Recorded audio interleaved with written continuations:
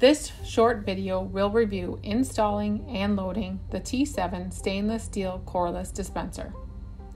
To install, you will need the following materials a drill or screwdriver, four anchors, four screws, a pencil, a level, and a tape measure.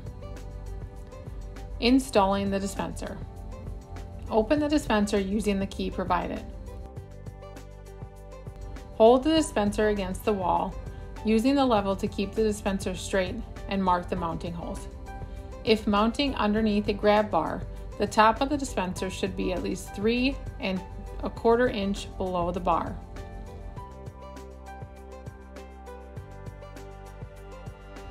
Drill pilot holes if necessary, and then mount the dispenser to the wall with the four screws and wall anchors if necessary.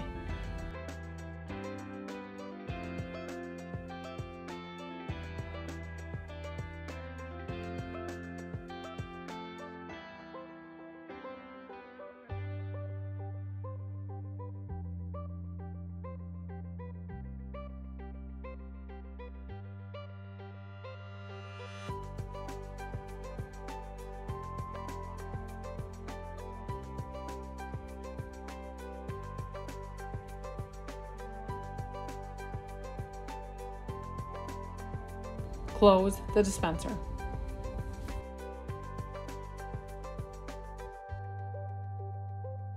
Open the dispenser using the key provided. Remove the roll transfer sled. Rotate the arm on the left side of the sled. Insert the rolls of tissue onto the spindles so that the tissue is dispensed from the top, known as waterfall orientation.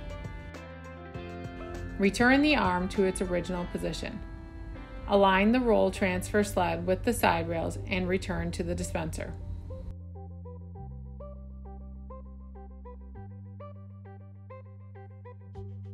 Close the dispenser.